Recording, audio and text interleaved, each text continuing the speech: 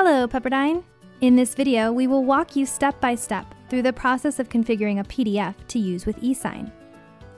First, open Adobe Acrobat. From the Tools panel in the top left corner of the screen, scroll down to the Forms and Signatures section and select Prepare Form.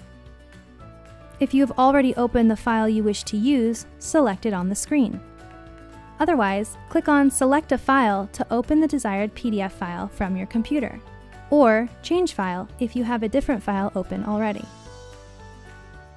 Once you've selected your file, click the Start button. In the right side pop-up panel, select More, and then Convert to Adobe Sign form. Adobe Acrobat will attempt to find all the form fields that need to be entered for you.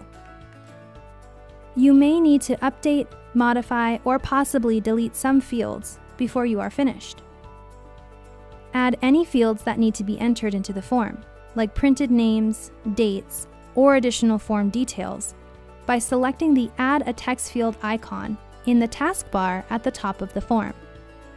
To do this, move your mouse to the spot you'd like the box to appear, and use a single mouse click to insert the box edit the title for the field in the pop-up editor that appears. Keep in mind that you will be assigning signees later, so you only need to edit field names in this step. Review the auto-detected fields and edit, modify, or delete any field names or properties as you need. Double left-click on each field to open the properties and update the field name.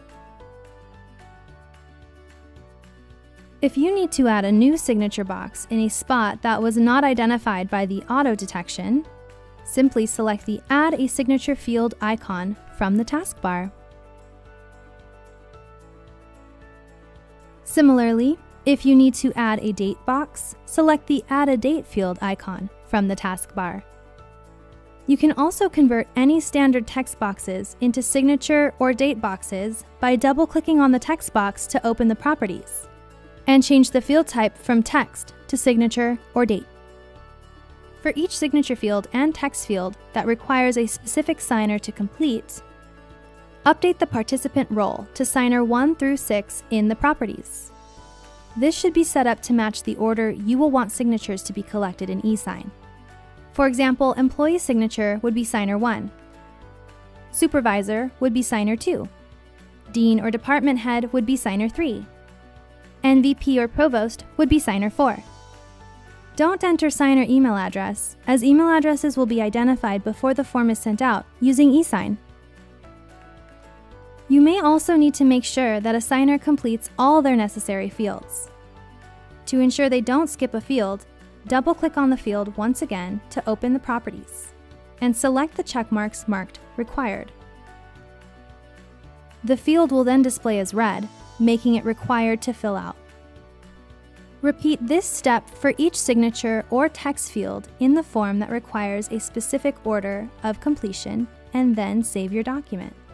You have now prepared a PDF to be used in eSign.